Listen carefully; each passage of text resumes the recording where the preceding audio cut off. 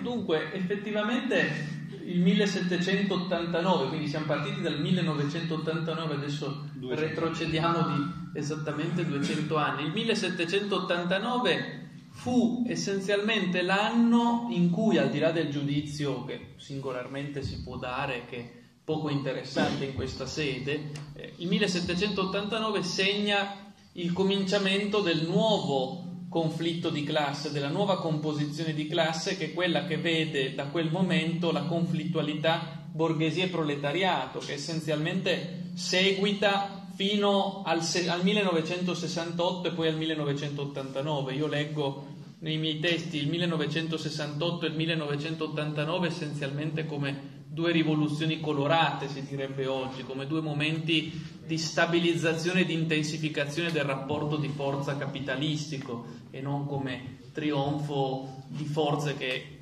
a vario titolo avrebbero cercato di rovesciarlo. Eh, dal 1789 al 1989 esce di scena l'aristocrazia, in effetti, che è la classe sconfitta. Col 1989 rientra in scena l'aristocrazia, l'aristocrazia di tipo finanziario però, eh, tipico della nuova classe dominante composta da speculatori finanziari, da globocrati senza coscienza infelice, da poliorceti della mondializzazione eh, necessaria e vissuta come ineludibile. Il tratto più specifico di questa classe, ed è per questo che la definisco aristocrazia, non certo perché sia composta da oi aristoi, i migliori, è il fatto che anch'essa, aristocrazia finanziaria, come la vecchia aristocrazia di tipo eh, ancien régime, è una classe che non vive del proprio lavoro, ma vive di rendita.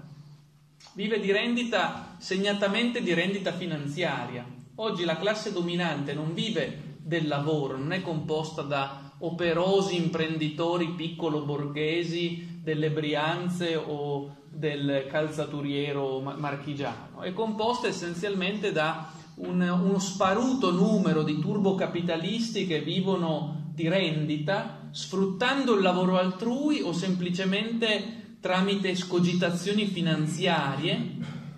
La cosiddetta crisi del 2007 è essenzialmente non una crisi ma un'offensiva che questa classe di parassiti bancocrati ha gestito contro le classi medie lavoratrici d'oltreoceano, se ne ha avuta poi una eco anche qui in Europa, naturalmente. Il bail-in di cui si parlò in Italia a un certo punto era una eco di tutto questo. Ecco, quindi è un'aristocrazia finanziaria che vive di rendita finanziaria. Il voto del 4 marzo che tu hai evocato dal mio punto di vista segnala come ci sia stata una presa di coscienza da parte del servo nazionale popolare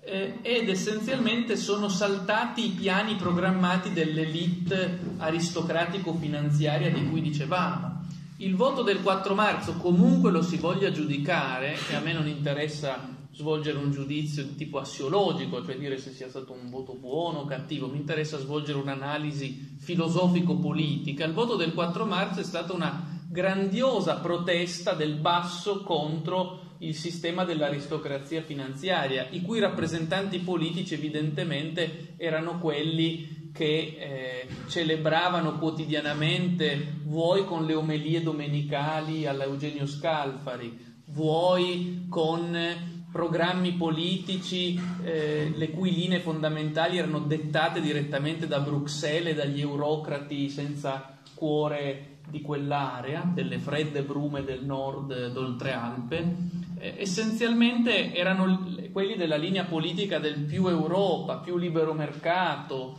più globalizzazione, eh, che sono stati sconfitti dal messaggio esattamente opposto, perché al di là di quello che si possa e si voglia dire delle forze politiche che hanno trionfato il 4 marzo, è del tutto evidente che esse, almeno a livello di rappresentazione, incarnavano la direttrice esattamente opposta rispetto a queste tendenze, è del tutto evidente. Meno Europa, meno globalizzazione, meno libero mercato e per converso in maniera sinergica più confini nazionali, più difesa del lavoro, più difesa delle classi nazionali popolari e così via.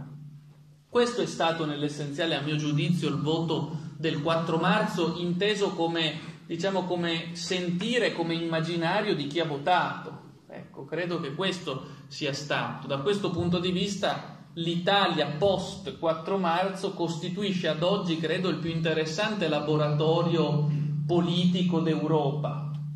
Per la prima volta non ha vinto in un'elezione la sinistra o la destra, come era stato fino a un certo punto e come eh,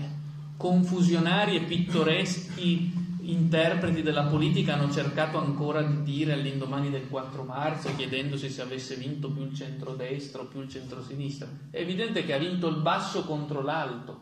il popolo contro l'elite, il servo nazionale popolare contro il signore global elitario. Questa è stata l'analisi, a mio giudizio, che poteva fare chiarezza su quello che è avvenuto il 4 marzo. Per cui, ripeto, eh, al cospetto di una Germania merkeliana che continua a insistere sul, sull'eurocentrismo assoluto, eh, a dispetto di una Francia governata da un personaggio che è stato prodotto in vitro dall'elite Rothschild eh, turbofinanziaria, eh, al, al, dispetto di una Grecia eh, a cui pure occorre dare piena solidarietà e pieno rispetto, che è stata travolta spietatamente dagli eurocrati di Bruxelles, si è riuscito in quello in cui non riuscirono in precedenza, ossia a spezzare le reni della Grecia, sono riusciti gli eurocrati non con i carri armati e con i mitra, bensì con la troica, lo spread, i ricatti del debito come moderno sistema di schiavitù e così via. L'Italia è l'unico blocco, diciamo, europeo in cui ha trionfato una visione che è quella che ha letteralmente sparigliato le carte.